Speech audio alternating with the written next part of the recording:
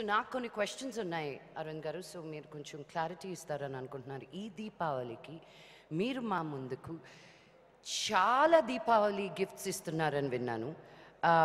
First and foremost మీరు ఒక cracker లాంటి ఒక పటాకా ఇస్తున్నట్టు విన్నాను. What is that cracker we want no unstoppable అది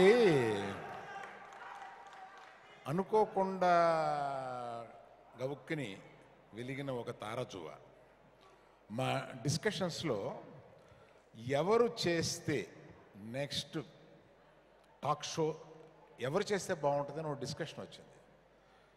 మేమందరం జూమ్ కాల్లో మాట్లాడుకుంటున్నాం. మాట్లాడుకుంటుండగా మన వాళ్ళందరూ ఎవరు చేస్తే బాగుంటుంది అంటే రకరకాల పేర్లు రోల్ అయినాయి. నేను బాలకృష్ణ గారు చేస్తే బాగుంటుంది అని అన్నాను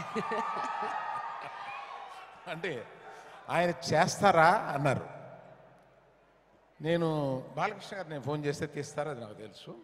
If is not in shoot phone చేశాను. ఫోన్ చేస్తే బ్రదర్ ఎక్కడా? ఎలా ఉన్నారు? అన్నారు. మీరు ఎక్కడున్నారు ఈజ్ అన్ అవుట్డోర్ షూటింగ్లే అన్నారు. షూటింగ్ చిన్న బ్రేక్ ఉంది. ఏంటి ఇలా చేశారు? అన్నారు. మీరు ఆహా చూస్తుంటారా? చూస్తుంటానే. ఆ మధ్య సమంత టాక్ షో చేశారు కదా చూసారా మీరు? చూశాను బాగుంది అని. అటువంటి టాక్ షో మీరు చేస్తే బాగుంటుంది. మన ఆహా టీంని మీ దగ్గర పంపిస్తాను అసలు ఎక్స్ప్లెయిన్ చేస్తారు మీకు ఒకసారి అని. నేను సోమవారం వస్తున్నాను సోమవారం పంపించు. సో ఆయన ఎంత ప్రాంప్ట్ అంటే సోమవారం ఆయన ఫోన్ చేసి ఎన్నింటికి వస్తున్నారు వాళ్ళు అని అడిగారు. లెవెన్ ఓ క్లాక్ వస్తున్నారు. తిరిగి వాళ్ళు వన్ ఓ క్లాక్కి ఆయన కాన్సెప్ట్ విన్నారు బాగుందన్నారు చేస్తానన్నారు మీతో చెప్పమన్నారు అని వచ్చారు. ఆయన దగ్గర ఎంత స్ట్రైట్గా ఉంటుందంటే ఇట్లా అడగగానే అట్లా వెళ్ళి ఒక తెచ్చే. నో నాన్ ఒక దీంట్లో ఆయనకి ఇది చేస్తే బాగుంటుంది అని అనిపించింది. దాన్ని ఒప్పుకొని చేశారు. మాకు అర్థం కాలేదు. మేమే కొంచెం కన్ఫ్యూజ్ అయ్యాం.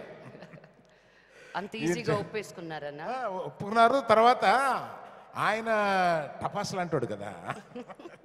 మామూలు టపాస్ కాదు. నాన్ స్టాప్ అందుకని టపాస్.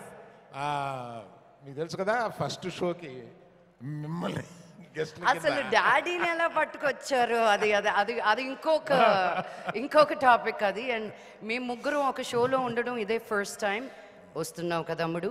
అలా పిలిచాక వచ్చే తీరాలి daddy. So can we watch the AV AVF one star